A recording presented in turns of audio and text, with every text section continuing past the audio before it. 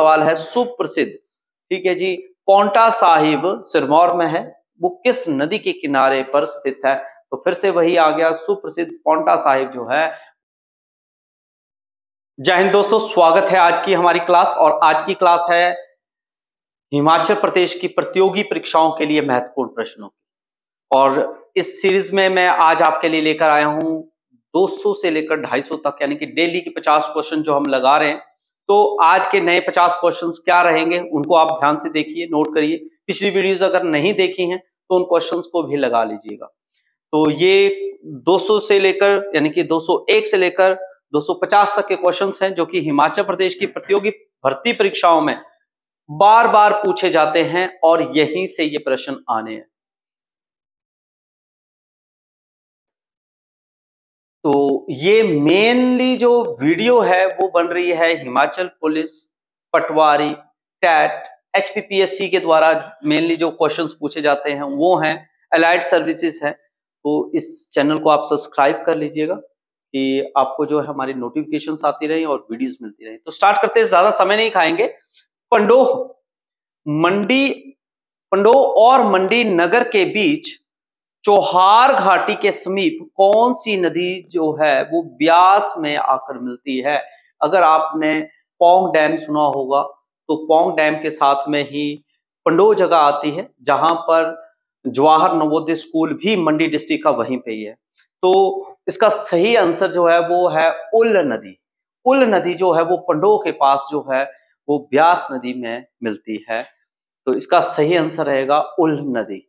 अगला सवाल है, किस वर्ष ब्यास नदी के जल को सुरंगों द्वारा सतलुज नदी में मिलाया गया? यानी कि टनल बनाई गई है, अगर आपको याद हो तो टनल बनाई गई है पंडो के थोड़ा सा आगे तो वहाँ से टनल के थ्रू जो है वो ब्यास नदी का जो पानी है, वो टनल के माध्यम से जो है वो सतलुज नदी में मिलाया गया है। तो आंसर है उन्नीस सौ तिरसठ।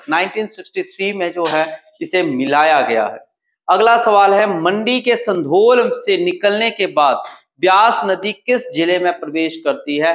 तो मैंने लास्ट वीडियो में भी बताया है कि ब्यास नदी जो है, वो मंडी से फिर संधोल जाती है, यानी कि संधोल आती है तो संधोल आते ही जो है वो कांगड़ा के जसीमपुर के हारसी पत्तन में आकर बॉर्डर लाइन बना देती है, जो कि हमीरपुर जिला और कांगड़ा जिला का बॉर्डर भी होता है। ठीक है जी?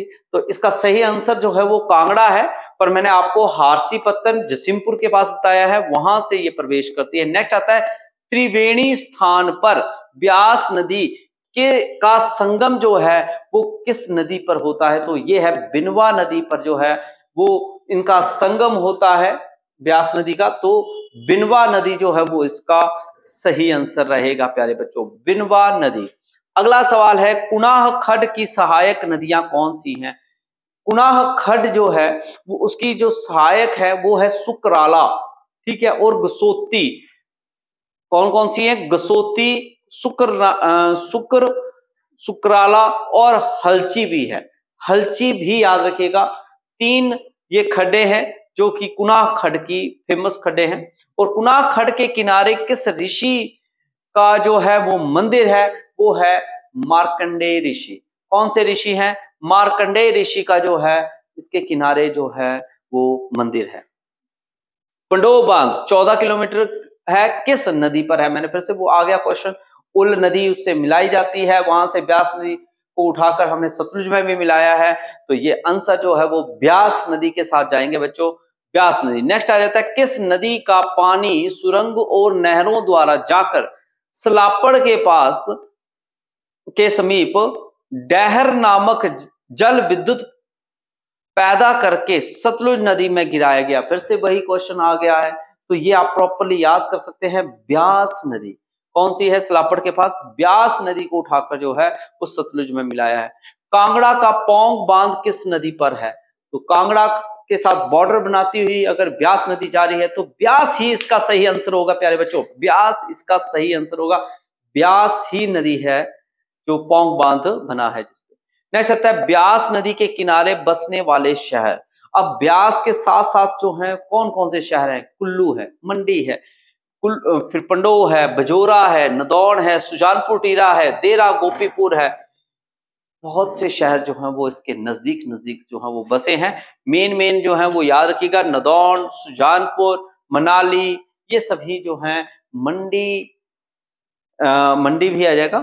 ये सभी शहर जो हैं ये व्यास नदी के किनारे पर बसे हुए हैं। अगला सवाल है प्रदेश में दो सौ छप्पन किलोमीटर की दूरी तय करने के बाद ब्यास नदी किस स्थान पर पंजाब में प्रवेश करती है?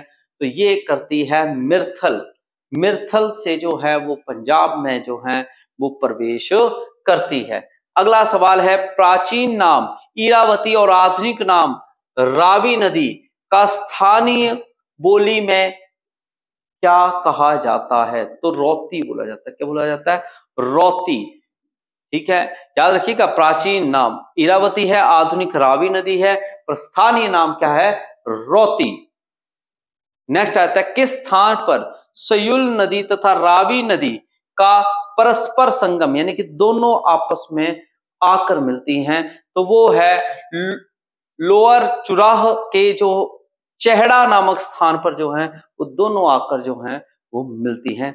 ये इसका सही आंसर है। नेक्स्ट है चंबा शहर किस नदी के किनारे बसा है? तो आपको पता ही है, चंबा में मिंजर मेला भी मनाया जाता है।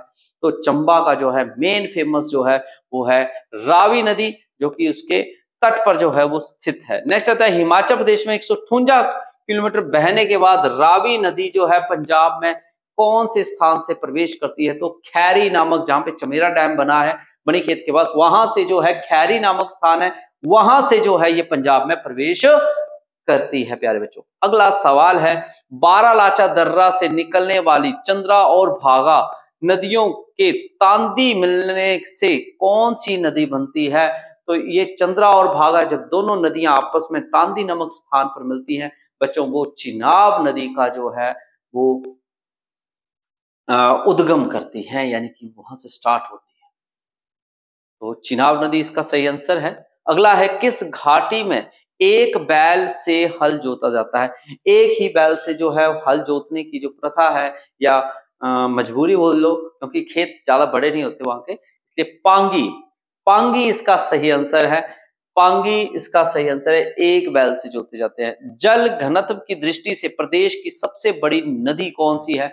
अगर जल घनत्व की बात की जाए, यानी कि डेंसिटी की बात करें तो चिनाब नदी जो है, वो हिमाचल की सबसे बड़ी नदी है घनत्व में। अगला है चिनाब नदी। पांगी घाटी में किस स्थान पर प्रवेश करती है? तो भुरजिंद के पास जो है, वो प्रवेश करती है पांगी घाटी में। ठीक है नेक्स्ट आ जाता है, प्रेमी जोड़े सोहनी महिवाल की याद में किस नदी को आशंका दरिया कहा जाता है। तो इस वक्त हम चिनाब नदी पर पढ़ रहे हैं तो इसका सही आंसर भी चिनाब नदी ही होगा।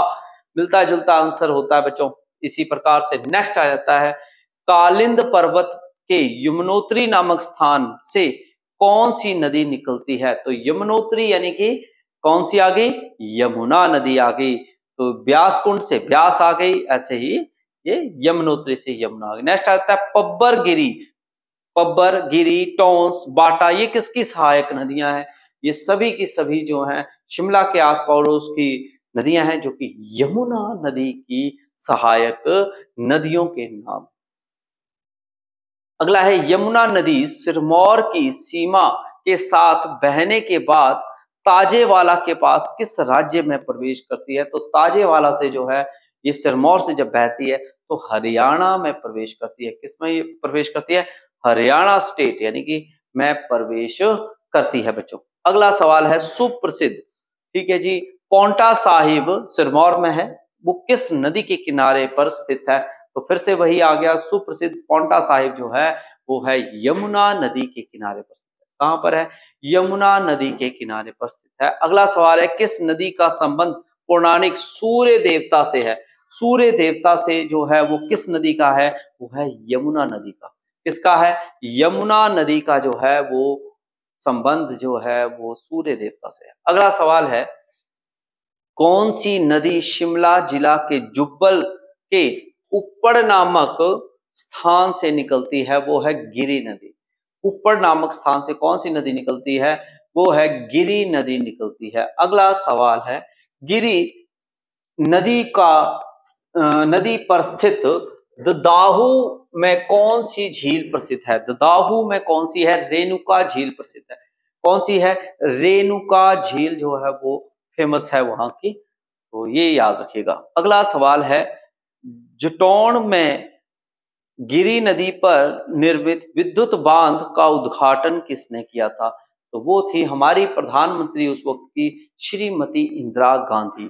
तो उनके सुर कमलों द्वारा जो है ये इसका उद्घाटन किया गया था। अगला सवाल है, चंद्रनाहन नामक झील को किस नदी का उद्गम स्थल माना जाता है? यानी कि चंद्रनाहन झील के द्वारा जो है कौन सी नदी बनी है? तो वो है पब्बर नदी, जो कि शिमला रोड के पास है। तो पब्बर नदी जो है, इसका सही आंसर रहेगा। नेक्स्ट आ जाता है, चिड़गांव के समीप पब्बर नदी पर कौन सा जल विद्युत परियोजना बनाई गई है? तो आंध्रा नदी पर बनाई गई है, और ये इसका नाम भी आंध्रा प्रोजेक्ट क्या नाम है? आंध्रा प्रोजेक्ट है। अगला सवाल है, ऊना ज़िले की सब की किस नदी को the river of the sorrow यानी कि दुख की नदी के नाम से जाना जाता है? शोक नदी, हिमाचल की शोक नदी भी कहा जाता है। वो है सवा नदी। किसको बोला जाता है? सवा नदी को जो है दुख की नदी भी कहा जाता है। अगला सवाल है, पतीश अमलतास रतन जोत ये क्या है? तो ये सभी के सभी जो हैं, जड़ी बूटियाँ हैं जिनके नाम लिए जा रहे हैं। ये जड़ी बूटियाँ हैं, इनको याद रखिएगा। अगला है, महाशीर नाव कतला, ट्राउट, कार्प आदि। ये किसकी कस्में हैं? तो ये ट्राउट यानी कि फ़िश की बात की जा रही है, मछली की बात की जा रही है, क्योंकि ट्राउट फ़िश जो है, वो आपकी जो है, वो ठंडे यानी कि मतलब माइनस ज़ीरो ज़ीरो मतलब डिग्री सेल्सियस से नीचे जो है, वो जीवित रहती हैं, बर्फ़ के पानी में जीवित रहती हैं। तो इसलिए आइडिया लग जाएगा आपको।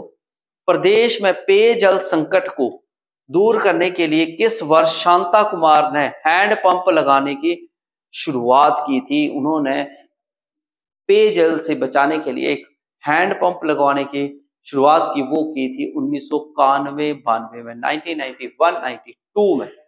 अगला सवाल। नौवीं शताब्दी में चंबा की राजधानी क्या थी? नौवीं शताब्दी में जो है, चंबा की राजधानी थी भरमौर। कौन क्या राजधानी थी? भरमौर। अगला सवाल है, किस ज़िले में गुजरों की जनसंख्या जो है, या संख्या जो है, वो सबसे ज़्यादा है? तो सबसे ज़्यादा जो गुज्जर प्रजाति या जनजाति के लोग जो हैं, वो चंबा में होते हैं। कहाँ पे होते हैं? चंबा में मिलते हैं। ठीक है जी? फ़िल्म, फिक्की, शादी और छक्की क्या है? तो ये पांगी में जो है, मनाई जाने वाली चार विवाह रस्में हैं। क्या है? पांगी प्रदेश में जो है, विवाह की चार ये रस्में हैं जो वहाँ की मनाई जाती है। अगला सवाल है, प्रदेश में निवास करने वाली प्रमुख जन, प्रमुख जातियाँ कौन सी हैं? तो वो है किन्नर, नाग और कोल, खश। तो ये चार जो हैं, वो प्रदेश में ज़्यादा मतलब यानी कि निवास करने वाली जातियाँ हैं। अगला है, आर्यों के बाद प्रदेश में कौन सी जनजातियाँ अस्तित्व में आई? तो गुज्जर आए, हुण आए, उसके बाद शक आए, बोट आए, क्षत्रिय आए, वैश्य आए, कोली आए, धीरथ आए, शुद्र आए। तो ये सभी जो हैं, आर्यों के बाद जो है, इस प्रदेश पर यानी कि हिमाचल में जो है, आने वाली जनजातियों का अस्तित्व बना है। अगला सवाल है, प्रदेश में विद्यमान अन्य जातियाँ कौन सी हैं? तो वो है हाली है, डूम है, ठीक है, चनाल है बड़ई है, लोहार है, तूरी है, रहड़ है, ये सभी जनजातियाँ हैं। इसी प्रकार से नेक्स्ट आता है, कोल जाति के बाद, किस जाति के ने जो है प्रदेश में प्रवेश किया? कोल जाति के बाद जो है, वो किन्नर और किरात ने जो है वो प्रवेश किया था। अगला सवाल आ जाता है, किन्नर किरातों के बाद बसने वाली जातियाँ कौन सी हैं? वो है किन्नर किरात के बाद खश जाति के जो लोग हैं, वो ज़्यादा बसे थे, ठीक है? किन्नर किरातों की भांति नागों को हिमाचल में परास्त करने वाली जाति कौन सी है? वो भी खश जाति है, जिसने इनको परास्त किया था, हराया था। अगला है, बूढ़ी दिवाली कहाँ पर मनाई जाती है? तो ये निर्मंड में मनाई जाती है। कहाँ पर मनाई जाती है? निर्मंड में मनाई जाती है बूढ़ी दिवाली। अगला सवाल, भुंडा उत्सव का संबंध किस जाति से है? तो ये भुंडा उत्सव भी खश जाति से जुड़ा हुआ है। अगला सवाल है, मुंज नामक घास का रस्सा किस त्योहार के लिए उपयोग में लाया जाता है? तो मुंज नामक जो रस्सा है या रस्सी है, उसका भुंडा उत्सव में जो है का जो काम है, लाया जाता है। नेक्स्ट आता है परशुराम के पिता जमदाग्नि ऋषि का आश्रम कहाँ पर है? तो जमदाग्नि ऋषि का जो आश्रम है, वो रेणुका में स्थित कहाँ पर है? रेणुका में स्थित है। नेक्स्ट आता है, हिमाचल के ब्राह्मणों को तीन भागों में बांटा जा सकता है। तो वो कौन कौन से हैं? एक आर्य खश और नाग। कौन कौन से? आर्य खश और नाग। तो देख सकते हैं मोस्ट इंपॉर्टेंट क्वेश्चन रहेंगे। गुजरों का उल्लेख किस, कौन सी शताब्दी में हुआ है? तो ये सातवीं शताब्दी में जो है, गुजरों का उल्लेख हुआ है। अगला सवाल है, और लास्ट सवाल है, प्रदेश के ऊपरी भाग में बसने वाली जातियों के नाम बताएँ। तो वो कौन कौन सी होंगी? चनाल ओली हाली, रेहाड़, लोहार तरी और इत्यादि। सभी इस प्रकार की जो जातियाँ हैं वो ऊपरी भाग में बसने वाली हैं। ये हैं हमारे 250 सवाल जो कि मोस्ट इंपॉर्टेंट रहेंगे। और ये हमारा कोर्स रह, मिल रहा है आपको जो कि हिमाचल पुलिस के लिए है ये। पचपन प्रतिशत की छूट पर दिया जा रहा है। और फुल कोर्स में आपको books special notes video classes topic wise series और full length mock test series सभी आपको अवेलेबल करवाए जा रहे हैं। एक बार आप डाउनलोड करें या वेबसाइट पे विज़िट करें विजय पथ एजुकेशन डॉट कॉम पर तो आप एक हज़ार अट्ठासी पोस्टों के लिए जो है अप्लाई करें और अपनी तैयारी करें। आप हमारे साथ इस वीडियो में जुड़े। आपका धन्यवाद। दोबारा नए वीडियो में लेकर आऊँगा। फिर से अपना ख्याल रखिएगा। जय हिंद, जय भारत, जय हिमाचल।